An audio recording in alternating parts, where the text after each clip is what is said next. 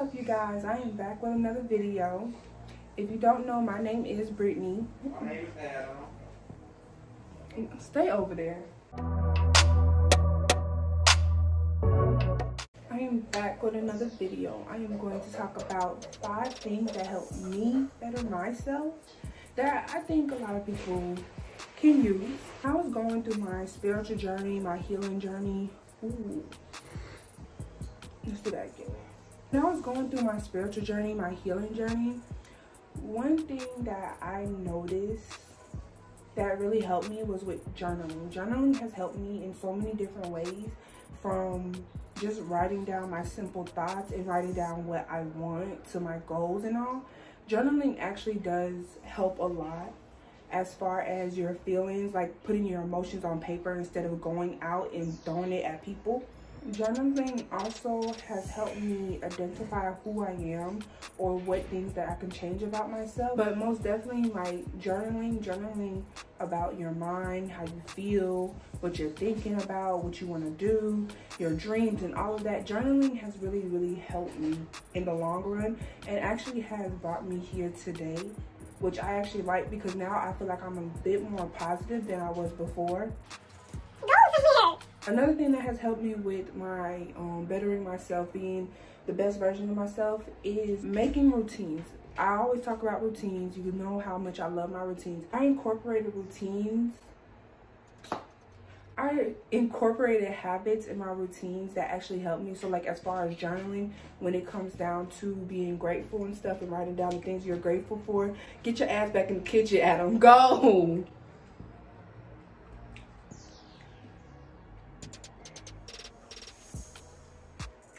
I told you it's spicy. You don't want to believe me. Like a fucked up dick. Here, break it, break it so you can have half of it. Cause I don't want the whole thing. I'm over here trying to record videos and you over here interrupting me. Anyways, let's get back to what I was talking about. Making routines that I love. So with routines, so spicy. With routines, when it comes down to certain routines, my morning, my day, and my night. I told you guys that my morning and my nights are the same, but my days are different. And with my morning routines, I actually create the morning routines that I actually love. Now, don't get me wrong, they do change after a while once I find other things that I like to do. Like my night routines do change sometimes. Like I haven't been, I still shower, but I shower as my last thing instead of, you know, the thing that I do before I journal. So, but making routines that I love to do for morning and night has really helped me and has really helped me better myself and become the best version of myself.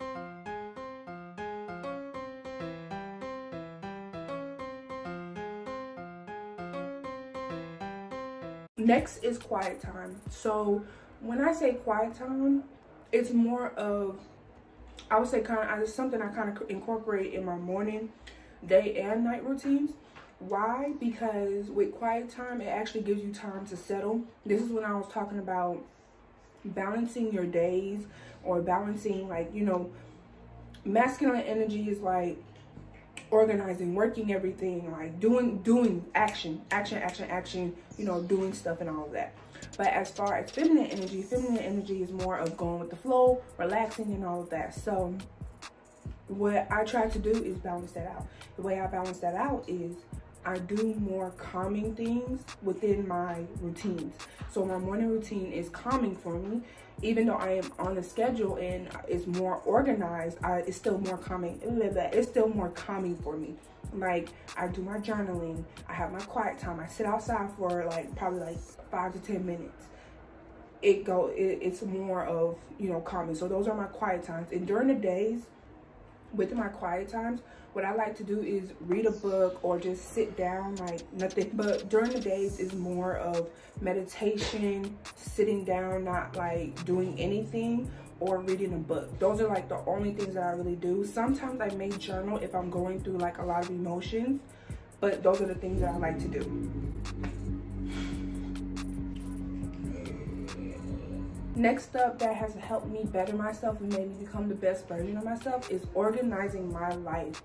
When I mean organizing my life has helped me so much, I I I I'm very grateful and I'm very thankful for that. Now, don't get me wrong, things change, days change and everything, but when I started planning out my days, like what I'm gonna do for the day, making my three main events, main events, my three my three main things to be a priority instead of trying to be like a two a big to do list.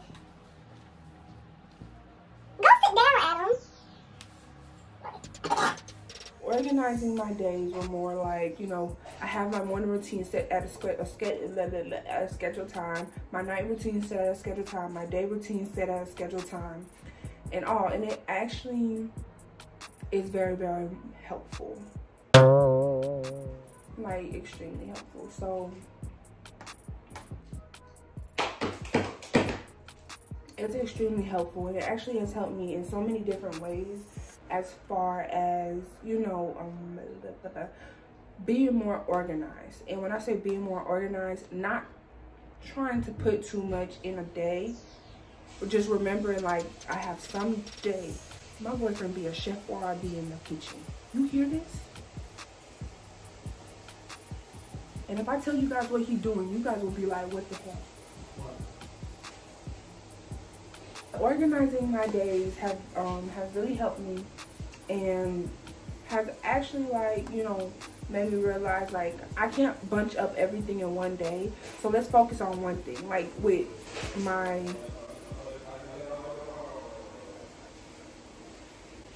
with my you with my YouTube and lashes and everything like lashes I kind of try to keep that on a three-day basis for 12 hours that is so important for me because if I try to do it throughout a whole week, I miss a lot of key points and a lot of opportunities out through the whole week, especially on Monday and Friday, because Monday and Fridays are my time to really plan and really to do other things.